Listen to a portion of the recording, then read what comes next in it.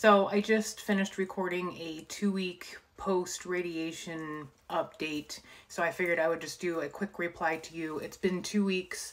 I had 20 rounds. Uh, four of those rounds were boosters and I didn't burn. Um, it, it got really pink.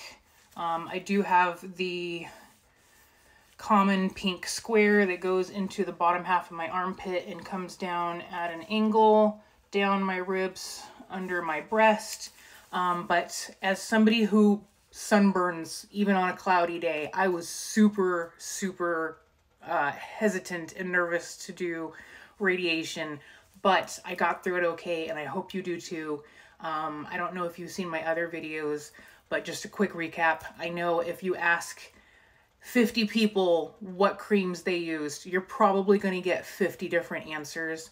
Um, my advice is go with your gut, use what you want, but use it religiously. And you might even start now. Uh, start moisturizing um, all of the area that they are going to radiate uh, morning and night leading up to your radiation day. And then once you start radiation, you can actually ask them where the beams will be hitting so that you can make sure you don't skip those parts. Uh, I have seen a lot of women in the breast cancer groups on Facebook not realize that they were going to have an exit spot of radiation on the back of their shoulder. So I was moisturizing back here before I asked them. Just to be safe, I was moisturizing back here.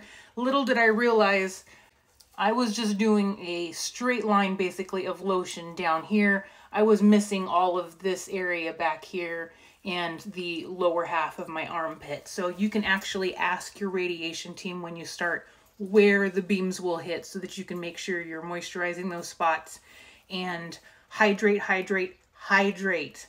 If you are dehydrated, your skin is going to be more dry and you'll be more prone to burning and your skin won't be able to heal as quickly because it is dry. So make sure you're drinking lots of water or Gatorade or whatever gets you through the day, but make sure you are hydrating and staying hydrated through radiation.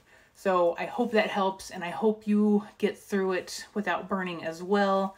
Um, I also found something out through the breast cancer group. I will post a screenshot instead of trying to read it to you. Um, but I thought that was really helpful and interesting as well. So um, yeah, I just hope that helps and I hope you get through it okay. All right, love you. Talk to you later. Bye.